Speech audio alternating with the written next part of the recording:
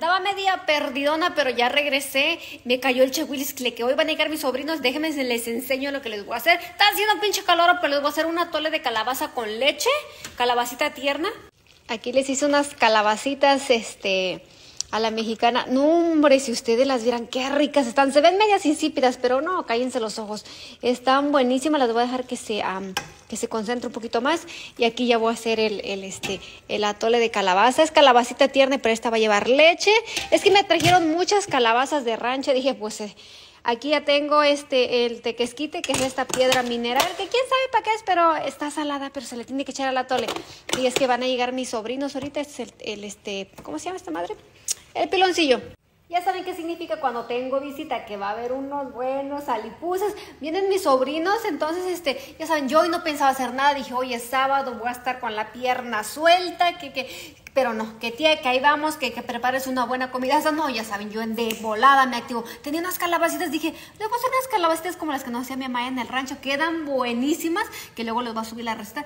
Este, bueno, ya ahorita ya estoy aquí lista, estoy lavando los chacapes y pues ya, vamos a ver, a ver, a ver este cómo se pone aquí el convivio. Convivio. Ahora sí vamos a empezar a rayar el, el quesito.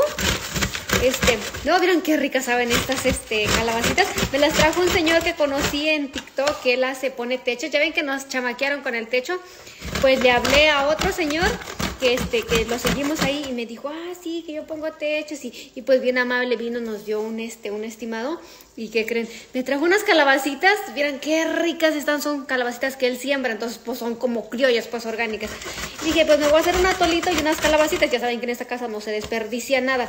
Y pues ya ahorita estoy esperando que lleguen mis sobrinos para que comamos, porque no hemos almorzado que según hoy yo no iba a hacer nada, pero pues ya saben. Aquí en esta casa la visita cae como moscas al panal, pues a mí me gusta, me gusta, ya saben. Entonces pues este, yo voy a poner el queso así como grandecito. Ay, comidaza que vamos a dar, ahorita van a ver.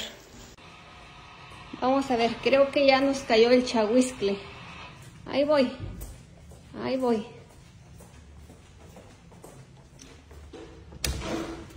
¡Eh! ¡Joder! ¿Cómo que sirvan? El hambre, mira, nomás. Hijo de veras. Hola, hola. Hola, ¿cómo están? Pásenle. Esas, esas me huele como que, como que quieren algo, ¿no? Mira, la mato. Algo quieren y el dinero. Pásenle, pues. Les hice unas calabacitas como las que nos hacía mi mamá en el rancho con su quesito, este, crema, frijolitos. Este, ¿van a querer tortillas?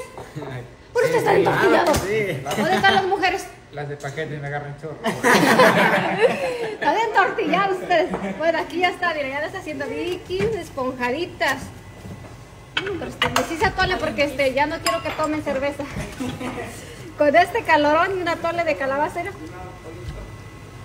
Para que no digan que uno los trata mal. ¿Qué tal quedaron las calabacitas? Son criollas, ¿eh? Déjenles pruebo ahorita. Que lo bueno, ay, tú estás enamorada y le hice un corazón. la comida tiene que ser pobremente pero buena. A ver qué tal. Sí, está, ¿no? No pensaban que iban a dar esta comida, ¿verdad? No. ¿Quién los atiende mejor? Nadie. Híjole. Y su vieja.